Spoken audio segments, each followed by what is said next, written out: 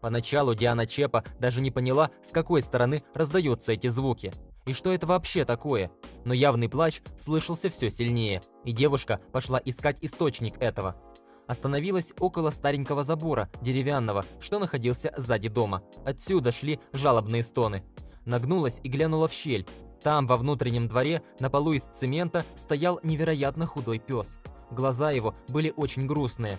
Собака словно плакала, как человек, у девушки заныло сердце. Глядя на животное, без труда определила, пес не ел уже много дней.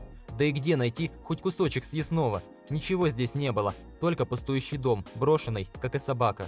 Девушка тут же набрала номер той организации, которая осуществляет опеку над беспризорными животными. Подождала. Позвонила снова, ответа не было. То есть никто за худой и голодной собакой не приедет. Что же делать? Диана привезла песика к себе домой, дала поесть, вымыла и оставила жить. Назвала найденыша Джошуа.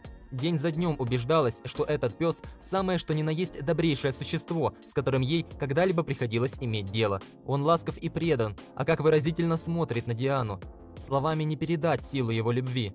Все время, пока Джошуа жил у девушки, она раздумывала, как его угораздило попасть в такую переделку. Соседи подсказали Диане, что собаке где-то лет шесть. И еще хозяева у Джошуа раньше были. Только почему столь плохо кормили, что под шерстью проступали ребра? Их можно было все пересчитать, и держали, видимо, собаку на улице, на цементном полу, в дом не впускали. Да, без помощи ветеринара в этой ситуации не обойтись.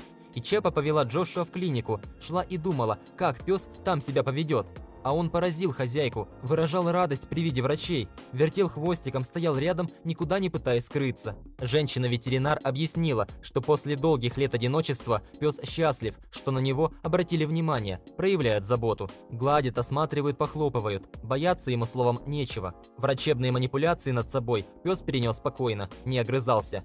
Диана тоже успокоилась. Сейчас необходимо лишь время для полного выздоровления найденыша, а потом его судьбой будет заниматься специальная организация Rescue Dogs Rock NYC. Опытные специалисты подыщут Джошуа хороших хозяев, в доме которых он обретет безопасность и уют.